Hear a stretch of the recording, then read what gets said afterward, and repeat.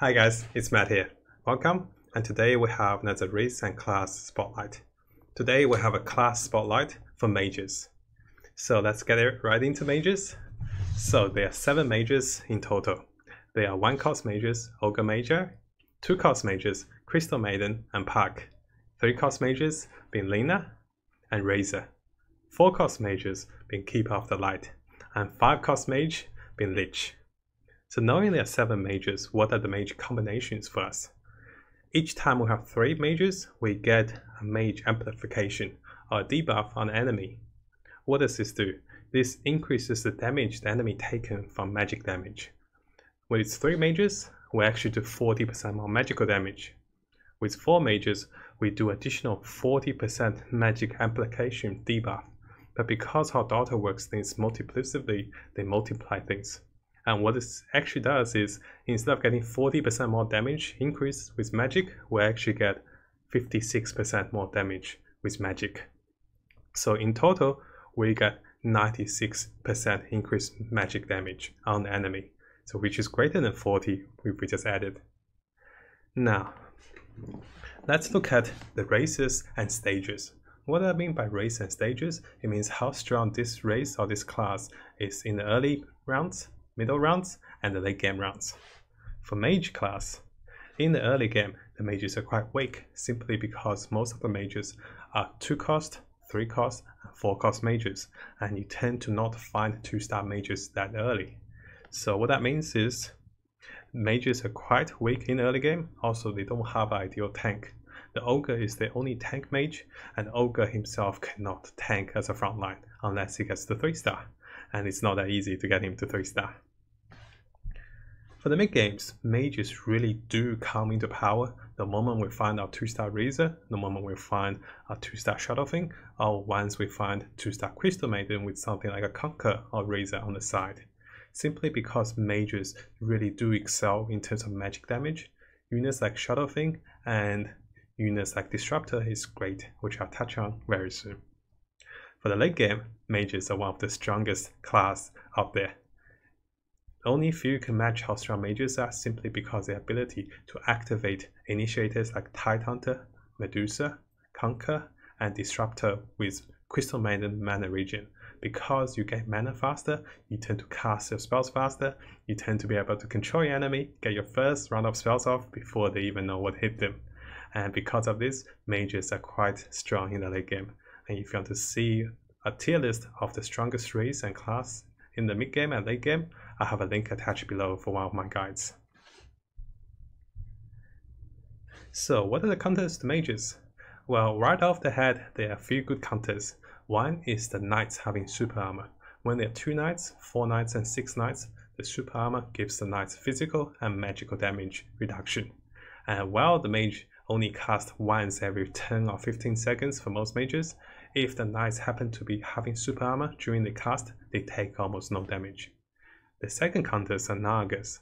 Nagas are quite unique race because their main purpose is to counter mages with the magic resistance debuff cancelled out with the magic resistance buff. So how does the Naga magic resistance buff works? It also works by multiplication.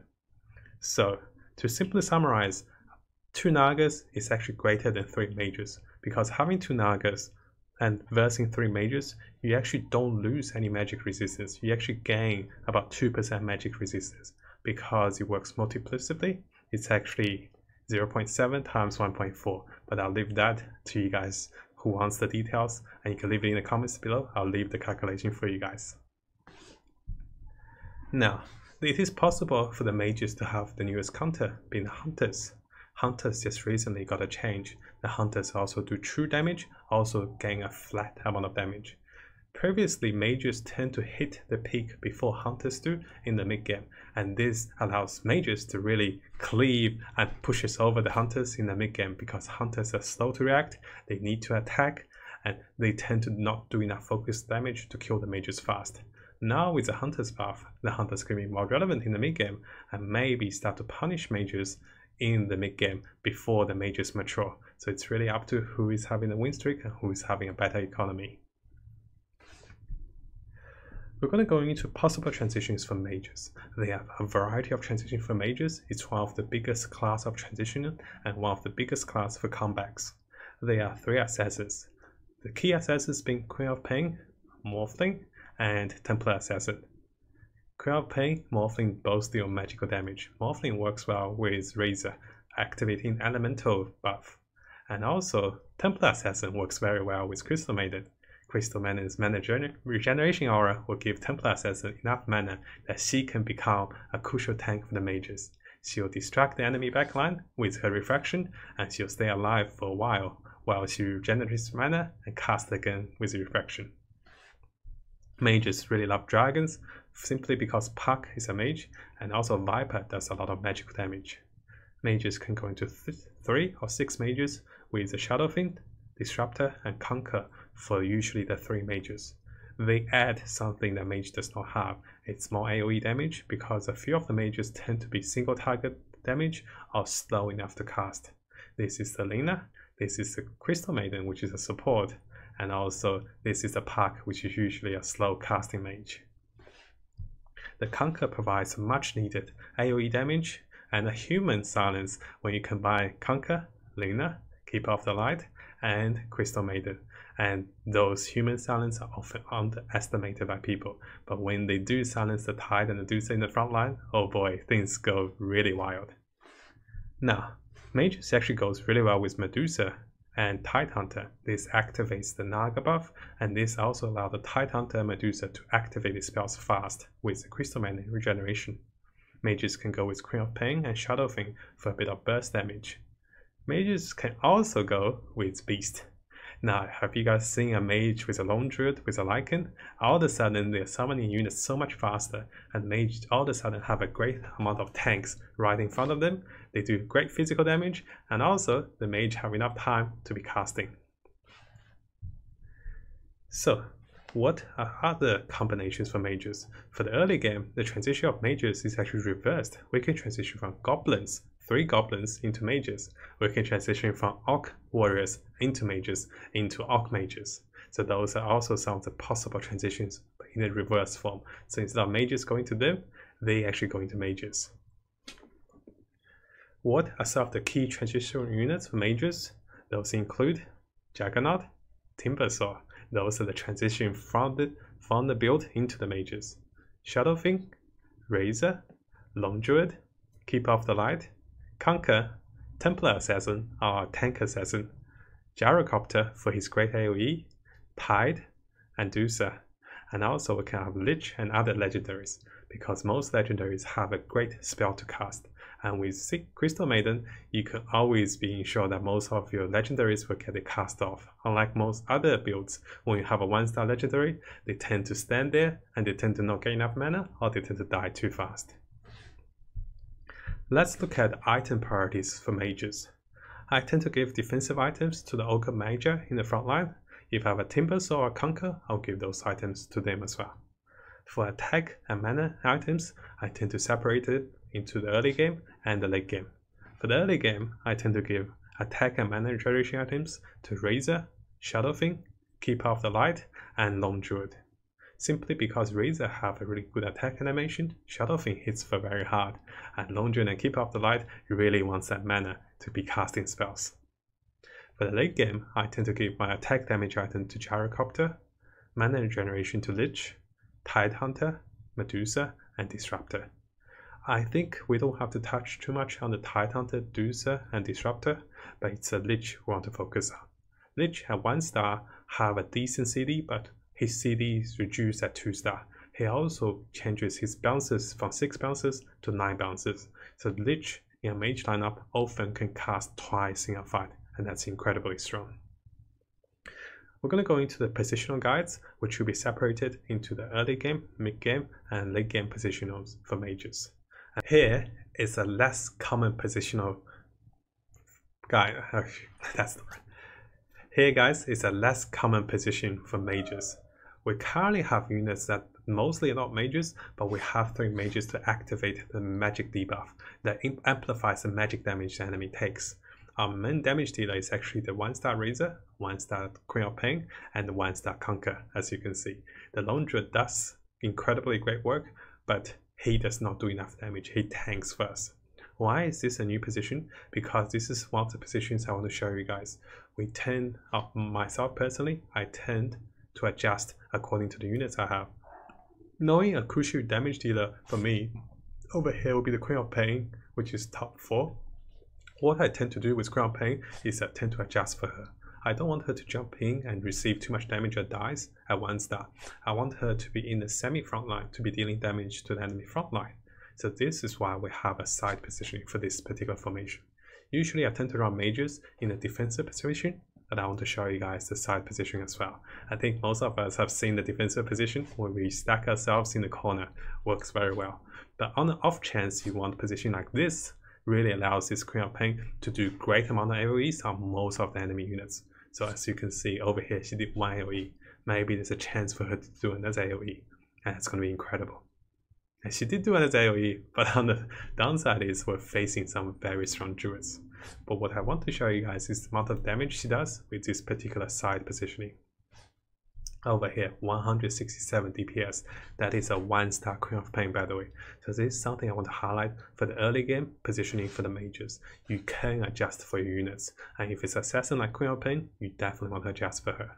If I had a Shadow Fiend, I'll be going to the corners as usual, like over here. Over here, we have a mid-game position for mages.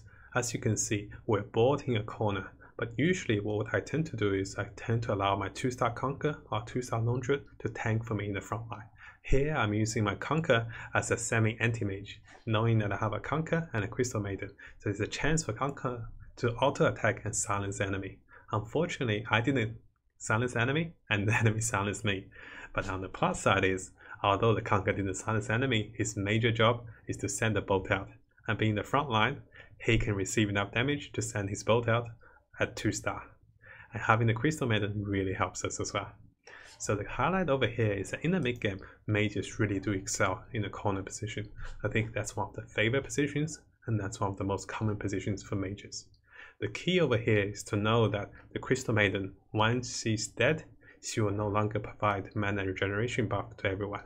That means you actually don't want your Crystal Maiden to be too far in front, but also you don't want her to be in the most protective position, like where the Shadow Fiend is, because then she actually don't serve a purpose. I have her right on the bottom corner, so she can protect herself against one assassin, but not two assassins, because only one assassin can hit, her at the same time if they're melee units. My Crystal Maiden also have a Mask of Madness, in case you guys are wondering. Over here, we have a particular late game position for the mages. What I like to do is I like to split my mages and my crucial units in two parts. One part being the Lone Druid. He is going to be a crucial tank first. The other part being the Keeper of the Light and Medusa. So over here, if one side gets silenced or gets stunned, the other side have still have a chance of casting. Over here, we got silenced over here. So Medusa was a little delayed, but the Lone Druid got the bailout. If it's reversed, Medusa will be casting while the Lone Druid is still in the silence trying to get a bailout. Although we did lose this round, I think we have minimized how much we would have lost because we have split up compared to the enemy. And this is a very much highlight. I want to show you guys again in this particular positioning. So what I planned is the initiators are my disruptor and my Kunkka over here. They are standing next to each other because I was worried they'll be sniped off if they split apart. The Razor is standing in a position where he has the most chance of doing the most AoE, but not protected by the frontliners, so he's split open. So is the Juggernaut. So I left a spot for him. I don't want him to be stealing manas from my frontliners. The top four frontliners want mana. What do I mean by mana? That means they receive damage, they gain mana. So the mana the other units will steal is the damage other units steal from them. If they receive damage, they cast faster, they gain mana faster. And for that particular reason, I really do favor having the frontliners in the front line only. This is the first bonus tip for mages. For me personally, I know that mages tend to be at 3 cost, 4 cost. And because of that, I know there's a highest rate to find 3 cost units at level 6 so I tend to rush myself into level 6, sometimes even level 7 to find a critical, critical purple unit. For me, the critical purple units for mages are also Lone Druid, Kunkka, Keeper of the Light, and Templar Assassin. And I have explained a few of those units because Kunkka and Lone Druid are always critical units for most lineup. For mages especially, the Kunkka is a human. Not only does he does great AoE, but being a human, he can silence passively the enemy with a random chance. I don't count on it, but when it happens like here with the Treant Protector, it's really nice. And later in game, he becomes a passive anti-mage. Here is a second bonus tip. Looking over here, we have a few units. What we do not have is we do not have a lot of mages on the board. What you notice is I have a 2-star Clockwork, 2-star Enchantress, but we're also keeping a Beastmaster. So what's happening is the second tip, that we don't try to go into mages right off. Over here I did go into mages because I didn't have anything better than a Puck and Lina and the Razor. If I had something better, I'll be replacing them for a while before I put the mages on. Why is that? because mages are weak early game, you tend to not find your 2-star mages early, so we want to transition into mages after round 10. You can keep all your mages here, but the key thing is to win or not lose the early game too badly. Because not only you get great economy, great income with winning, you also protect your health. Every bit of health is very crucial for the mages. So I mentioned that it's okay to lose with majors. Over here, we're going to be losing with majors and we're going to start a losing streak. I'm sure most of us are familiar with the losing streak. You keep losing, and each round you lose, you get a bonus gold because you have most, uh, you have lost multiple rounds. But with majors, it's especially nice knowing that we can transition into a strong lineup of majors in the mid game. But there's a downside to it. Every bit of HP is quite crucial for the mage once we get into the late game. Why is that? Because we have troubles defeating dragons, troubles defeating trolls without Enigma, and lots of trouble defeating a lot of the PvE monsters. And also, a random chance we could lose massively to a particular counter to us, and if we did not have enough health back then, we might just lose outright our chance to be top one player. We might end up top three or top four, but not number one. So I feel a good mage usually try to protect their HP as much as they can in the early game while having a losing streak. So what do I mean by that? How do you protect a losing streak and how do you protect your health at the same time? Well, it's quite difficult, I have to say. So what I tend to do is again, I tend to try to go into higher levels, into level 6, having the highest rate of finding crucial units, and I tend to rush to level 7 for mage. Over here, you can see I just rushed to level 7 I don't have the greatest lineup. My only tank is a tiny. So what, what most of us do is we tend to allow this loose to continue to go. For me personally, I have some HP indicators for mages. And over here, it's about to reach one of my HP indicators, which I'll discuss very soon. What do I mean by HP indicators? I look over here on my HP, I look at it round. If it's below round 15, it's okay to be at 70%, but 67 is pretty low for me. If it's over round 16 to round 20, it's okay to be at 50%, but below that, that's too low for me as well. So what do I do when my health is too low? It's that I tend to do two things. I tend to get to level 7 if I can, and after that, I'll be rolling with all my savings. But I tend to balance when I decide to roll. Usually I want to roll after round 16, but sometimes I tend to roll earlier when I have enough pairs. Over here, this is what I want to show you guys. We have been losing continuously with a losing streak. And over here, we have lost to 63%. And just suddenly, we won a round against a player. Knowing that we won a round, we lost our losing streak. This is the moment that's telling me, hey, keep in mind, you lost your losing streak, there's no reason for you to keep losing because you're just sacrificing crucial HP for the late game. So what do I do is, I look whether it's a neutral round. If it's a neutral round, I'm happy to wait. If it's not neutral, round, what I'll be doing is I'll be rolling. And here, even before the neutral round, I even rolled once. Because what I wanted was, if I didn't get anything, I can stay on 10 gold. If I got something, I have to find pieces to sell to make it 10 gold. And notice here, I'm still scraping for different units, and I really do favor the Kunkka, knowing that it's a human buff, and I also really do favor the Razors and Shadow Fiends for mages. The highlight is not the wolf round, it's what happens after the wolf round. So we'll skip a little bit.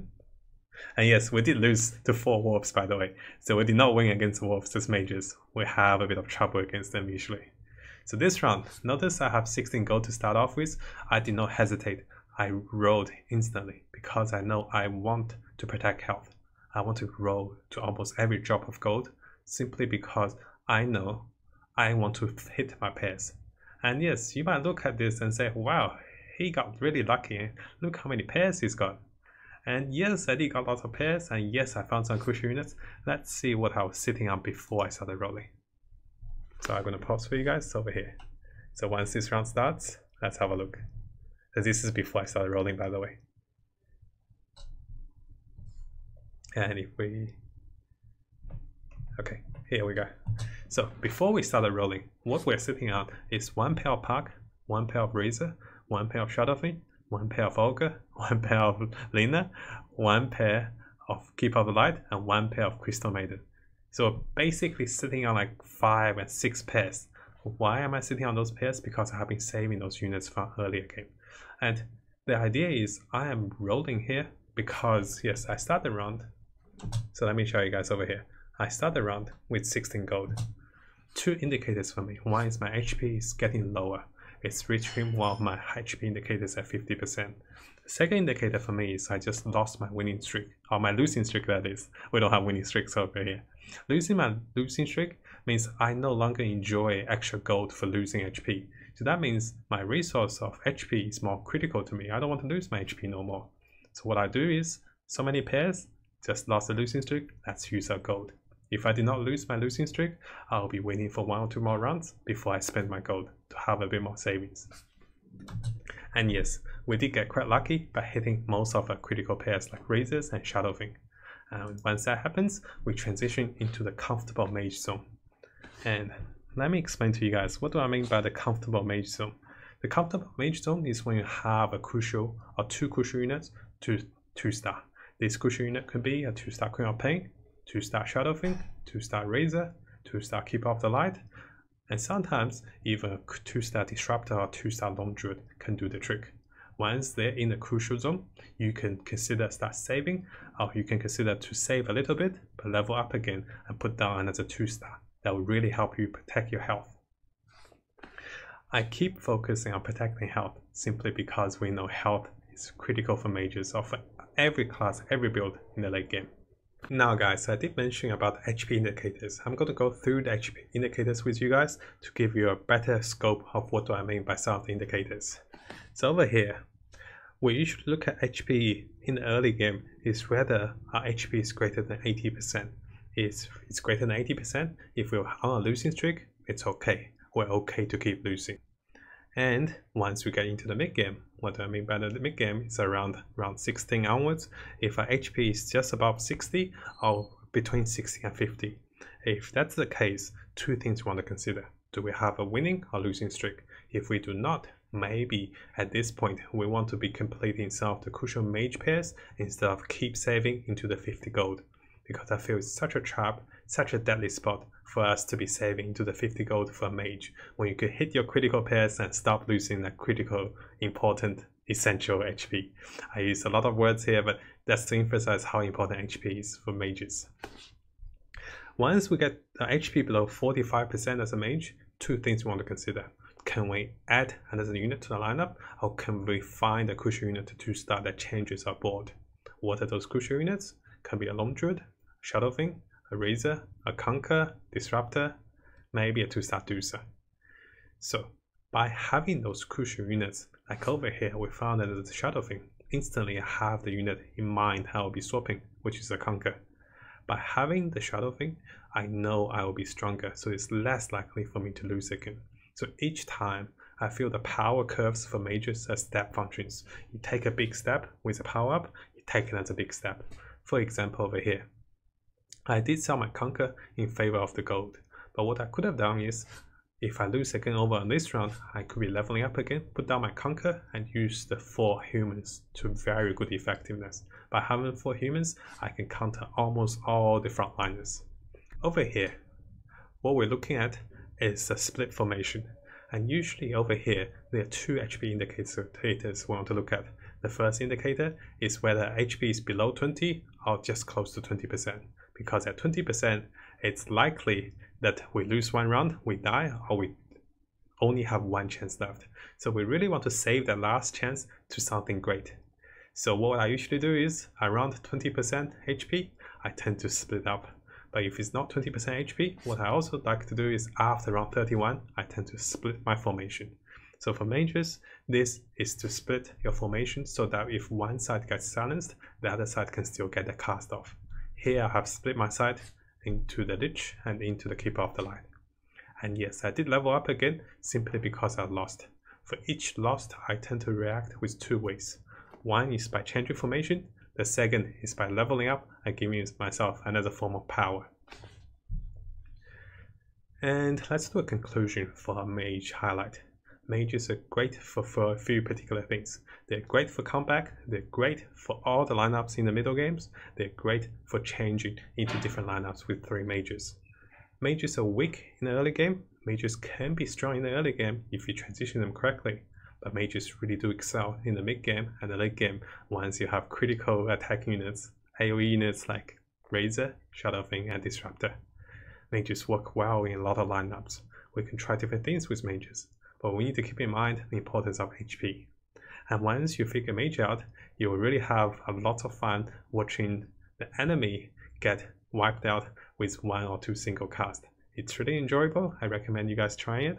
And this will be end of today's highlight. And thank you so much for you guys watching.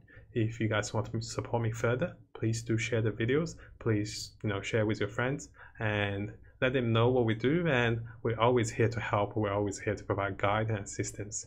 So thank you again, guys, for your support. And I'll see you guys next time.